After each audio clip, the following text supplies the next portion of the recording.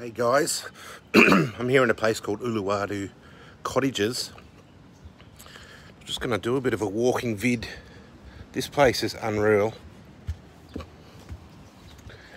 It's $20 US a night including breakfast or $30 Australian.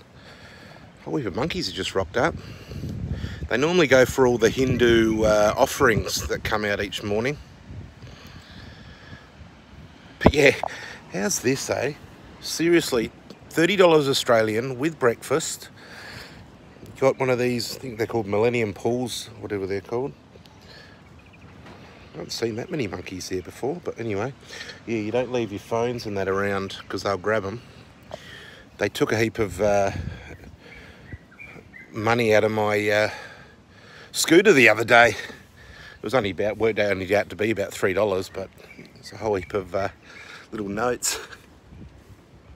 But yeah, so that's my little villa there. That's where I have brekkie up here. And yeah, beautiful in Uluwatu, Bali. Have my little Arvo naps just here. But um, yeah, once again, $20 US a night. I'm tired today. US a night with breakfast. So I'm loving it. It's the only good thing about COVID is the prices. But yeah, beautiful, uh,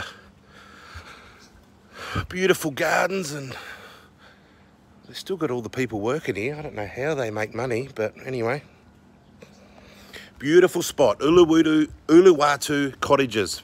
If you ever come to Bali and go to Uluwatu, you can't get direct access to the beach, but it's only like two minutes uh, on a scooter around, but it's all on cliffs. But beautiful place.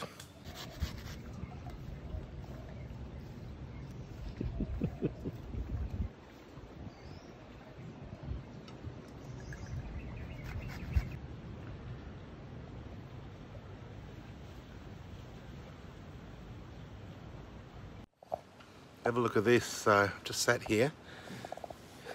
The monkey seriously has just come up. Having drinks out of the pool. I thought he was about to jump up and grab my uh, thongs.